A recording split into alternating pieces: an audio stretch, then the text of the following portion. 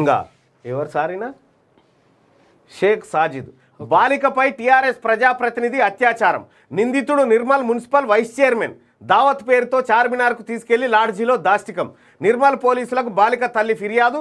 IPC POCSO కింద rape case నమోదు. నిందితుల్లో మహిళా మధ్యవర్తి ఉందట డ్రైవర్ కూడా ఉన్నాడట. పరారిలో నిందితులు వీసీ పదవికి ఎసరు. అది కథ. జై టిఆర్ఎస్.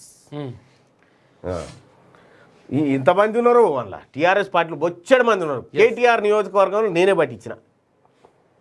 బాలికపై టీఆర్ఎస్ ప్రజాప్రతినిధి అత్యాచారం. పోలీసులకు ఫిర్యాదు చేసిన బాధితురాలు Nirmal municipal vice chairman Sajid Khan పై ఫోక్సో కేసు నమోదు.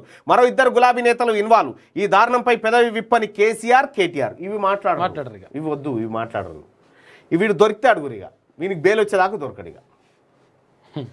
కేసీఆర్తో పీక ఇక మళ్ళా ఈలోపే బెదిరించి ఆ ఈలోపే మిమ్మల్ని చంపుతాం, తీసుకోకపోతే మీ భూములు కబ్జా మీ భూములు గుంజుకుంటాం మీ అమ్మ నాయనని బెదిరిస్తాం కేసు వాపస్ తీసుకో.